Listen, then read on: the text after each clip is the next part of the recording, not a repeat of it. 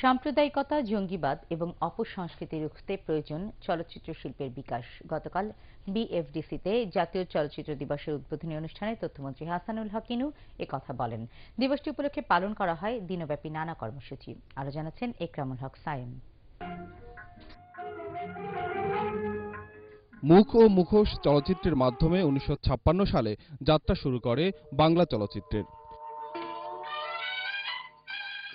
সেই থেকে হাঁটি হাঁটি পা করে বিনোদনের জনপ্রিয় মাধ্যমে পরিণত হয় চলচ্চিত্র। রূপালী পর্দার স্বপ্নের মানুষ রাজ্জাক সাবানা কবরী, আলমগীর আর ববিতার নিপুণ অভিনয় শৈলীতে স্বপ্নে ভেসেছে বাংলাদেশের সিনেমা ভক্ত মানুষ। দিনে দিনে সামাজিক, রোমান্টিক কিংবা অ্যাকশন নির্ভর ছবির মুগ্ধতায় মধ্যবিত্ত শ্রেণির দর্শকে ভরপুর হয়ে ওঠে সিনেমা হলগুলো। কিন্তু গত কয়েক দশক ধরে কিছুটা হারাতে বসে চলচ্চিত্রের সেই জৌলুস। না ভেজালে না একটু হাসির বৃষ্টিতে। ব্যবসায়িক ক্ষতির কারণে একের পর এক বন্ধ হতে থাকে সিনেমা হল।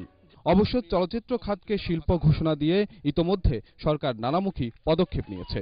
সেই ধারাবাহিকতায় এগিয়ে চলি ভবিষ্যতে সৃজনে স্লোগানে পালিত হচ্ছে চলচ্চিত্র দিবস। বাংলাদেশ চলচ্চিত্র উন্নয়ন কর্পোরেশন বিএফডিসিতে বর্ণাঢ্য অনুষ্ঠানের উদ্বোধন করেন তথ্যমন্ত্রী হাসানুল হকিনু সাম্প্রদায়িকতা কুসংস্কার অপসংস্কৃতি জঙ্গিবাদের দানবগুলোকে বধ করে মুক্তিযুদ্ধের চেতনার পথে চলচ্চিত্র আমাদের সাথী হবে। পরে শিল্পী কলাকৌশলী ও চলচ্চিত্র সংশ্লিষ্ট ব্যক্তিদের অংশগ্রহণে শোভাযাত্রা বিএফডিসির বিভিন্ন সড়ক প্রদক্ষিণ করে।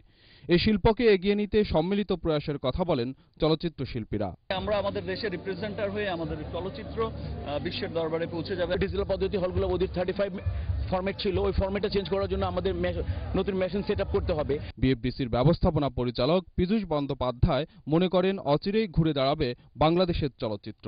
চলচ্চিত্র নির্মাণ প্রক্ষেপণ এবং বাণিজ্য। এই তিনটিকে যদি আমরা একসাথে বাঁধতে না পারি তাহলে কিন্তু আমরা খুব একটা এগোতে পারব না। দিবসটি উপলক্ষে এফডিসিতে দিনব্যাপী মেলার আয়োজন করা হয়। এতে সরকারি বেসরকারি মিলিয়ে প্রায় ত্রিশটি স্টল রয়েছে। এছাড়া প্রামাণ্য চিত্র ও চলচ্চিত্র প্রদর্শন করা হয়। চলচ্চিত্র দিবসের এই অনুষ্ঠানের media partner ATN Bangla. Ikramul Haque Sayem ATN Bangla Dhaka.